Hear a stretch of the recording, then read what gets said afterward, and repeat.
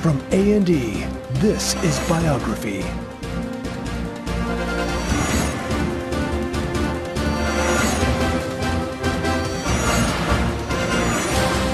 For January 1st, 2001, Biography with guest host Kathy Smith.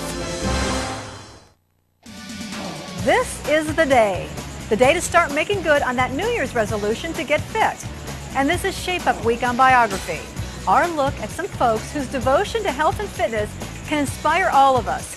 Tonight, Richard Simmons, whose flair for the dramatic has made him one of America's favorite exercise gurus. One more, last one, you got it, all right. Hi, I'm Kathy Smith. I'll be your host for Shape Up Week on Biography. Now, ever since I started exercising about 25 years ago, I've been preaching the benefits of keeping fit, whether through aerobics, kickboxing, or a little Latin rhythm dancing. Now, you know, any fitness program worth its weight, or loss of weight, combines two things, exercise and diet. Dieting? Perhaps no one has motivated more people to get in shape and pay attention to exercise and diet than Richard Simmons. When he was 19, Richard tipped the scales at 268 pounds until the day an anonymous friend left a note on his car.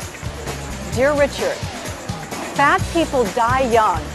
Please don't die. After trying just about every weight loss fad and gimmick, Richard finally devised a program that worked for him.